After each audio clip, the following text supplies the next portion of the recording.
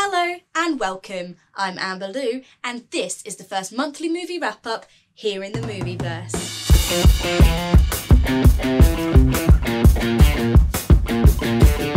Now, October was a big month for movies and saw some of the biggest releases hit the screen, from the dark and twisted Joker origin story from DC Comics through to the second installment of the Stephen King killer classic, Doctor Sleep. We saw animated yetis, creepy spooky relatives, and sheep with alien friends. We returned to the fairy tale moors in Maleficent Mistress of Evil, busted our butts outsmarting zombies in Zombieland Double Tap, and Arnie did indeed come back for his last rodeo in Terminator Dark Fate. I watched a grand total of eight films in October. Let's talk about them. I'll keep this spoiler free. First up, of course, Joker, directed by Todd Phillips. I had been eagerly awaiting Joker since the trailer dropped last year. Joker is my favourite comic book character of all time, and both Heath Ledger and Mark Hamill have portrayed this character so flawlessly that initially I was a bit reluctant to get excited. When I found out that Joaquin Phoenix had been cast in the role, I just knew he was going to bring this character out of the ashes, and boy, I was not disappointed. Although it has faced a lot of criticism for its dark themes, violence, and arguably sympathetic tone towards the villain, I feel the intricacy of every little detail and the request for audience interpretation make it an Oscar worthy piece of art.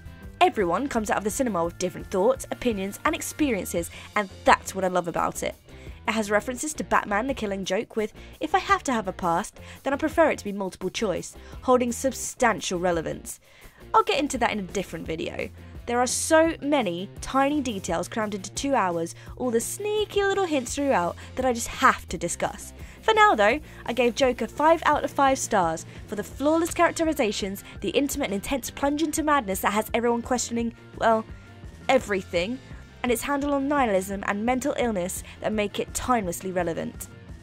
Next was a bittersweet biopic that plucked at the heartstrings. Judy Garland's desperate life was brought to the big screen by the strong and versatile Renee Zellweger.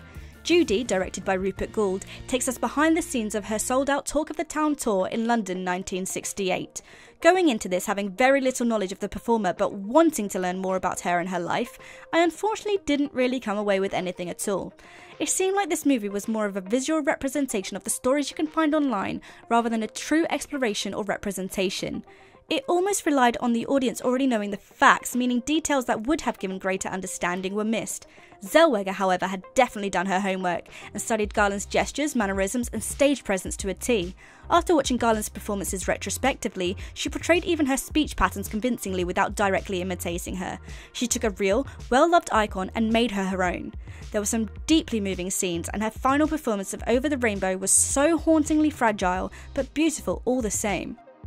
It's no wonder everyone expects her to bag an Oscar. I gave this 3 stars based on the phenomenal level of acting alone. I just wish there was more weight, depth, and detail to the story. So, after a rather dark start to the month, our knight in shining white fur came to our rescue. I was actually pleasantly surprised with how much I enjoyed and adored Abominable. Directed by Jill Culton and Todd Wilderman, Abominable follows Yi and the two friends on an adventure across China and Nepal to reunite Everest, a stolen Yeti, with his family whilst avoiding the grasp of the evil zoologist. First off, the landscapes in this film are truly breathtaking. The art is vibrant and the transitions smooth. The positive moral messages, such as don't destroy something just because you don't understand it, and those in regards to friendship, family, and nature as a whole, are delivered in a light yet effective way that stick with you long after the movie has ended. This film took you back to your childhood, was heartfelt and full of adventure, a perfect family film. The violin rendition of Coldplay's Fix You was just stunning and made up for the questionable research undertaken into Asian lifestyle and the predictable storyline. Also, fun fact the voice actor of Jin is the grandson of one of the first men to reach the summit of Mount Everest alongside Sir Edmund Hillary in 1953. I honestly really loved this film and gave it 4 stars. Only knocked a star off because the story was a bit far fetched and reminiscent of Pokemon, where it's apparently cool for kids to go on dangerous adventures completely unprepared and on their own. Oh, but that giant blueberry slow mo scene? Priceless. Okay, I have a guilty pleasure, and that's Will Smith. When I first saw the poster, I was eager to get a double shot from Ang Lee's Gemini Man. Smith plays Henry Brogan, a retiring assassin who, after being tipped off about conspiracy surrounding his last job, is tracked by an agent who knows his every move. Gemini Man began as a concept back in 1997 but was dropped as computer de aging technology hadn't advanced enough. As groundbreaking as it is, though, this film did not leave a lasting impression. Even though the cast lineup and performances were strong, with Will Smith pairing up with Mary Elizabeth Winstead and Benedict Wong against Clive Owen's villain, this action thriller lacked the emotional depth I was expecting. Both the script and the plot were thin, and the high frame rate and added effects seemed misplaced and surreal. The pacing felt slow in the first half and rushed in the second. Where I was expecting a deeper connection between Henry and Junior, there wasn't. Where the big reveal should have been more shocking and detailed, it was over quicker than a Thanos snap. I gave just two stars to Gemini Man, which is so disappointing as it was by no fault of the actors. I just couldn't connect with the story. But I am eager to see where this new technology takes us in the future of cinema. Now we are coming into sequel territory. If you've made it this far, I praise and thank you for your dedication. So, we return to the moors and Maleficent, Mistress of Evil, five years after the death of King Stefan. Maleficent is invited to a royal dinner in the wake of Philip's proposal to Aurora. The conniving queen plots to destroy all fairies and starts a war, and a whole army of dark fae descend onto the kingdom of Ulstead in a fiery rage. Joachim Ronning delivers high action sequences, sarky humour, and raises awareness to the detriments of human arrogance and fear of acceptance. The effervescent and magical landscapes are pure fairy tale, and we have the evil Queen Ingrith, portrayed by Michelle Pfeiffer, taking her crooked throne. I was disappointed by how little we were graced with Jolie's refined expressions and humble ability to own the screen, but for me, this was balanced out by Pfeiffer's faultless delivery, the incredible, stunning visuals, and the meandering journey to discover which Maleficent truly is good or evil.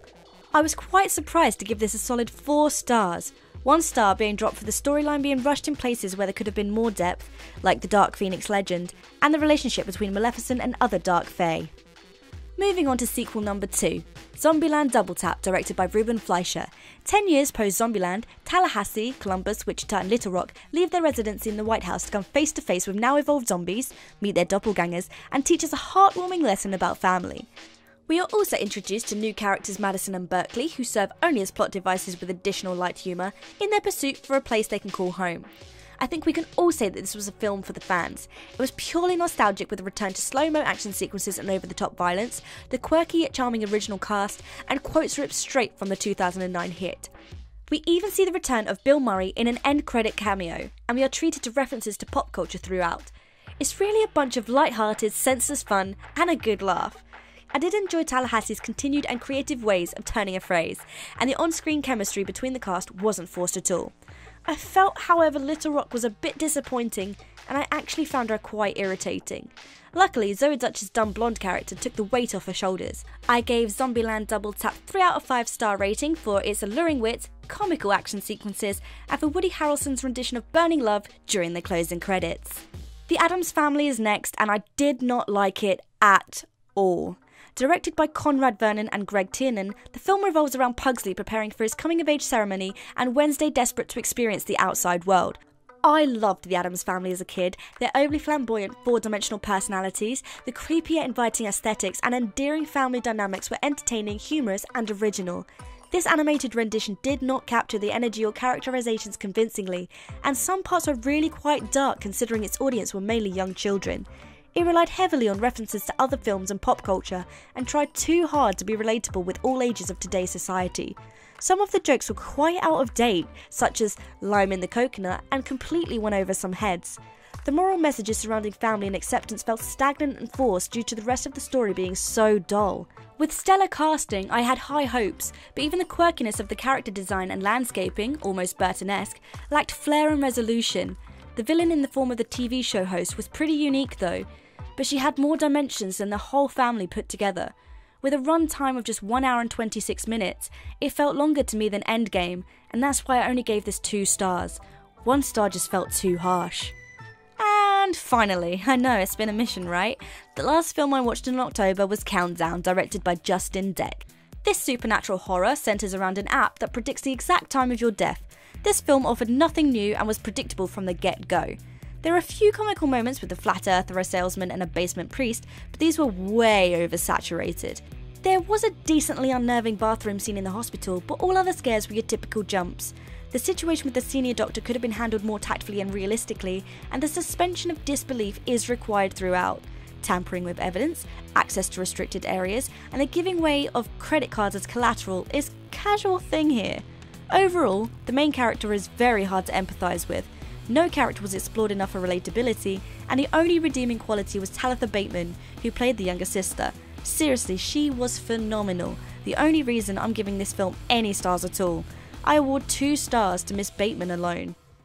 So that concludes October's monthly movie wrap up. Thanks for sticking around. Please do let me know what you thought about any of these films down in the comment section. You can also leave your suggestions and requests for movie reviews, discussions, and theory explorations down there too. I'll be back soon with Terminator Dark Fate, Doctor Sleep, Shaun the Sheep Farmageddon, The Aeronauts, and Midway. I hope to see you there.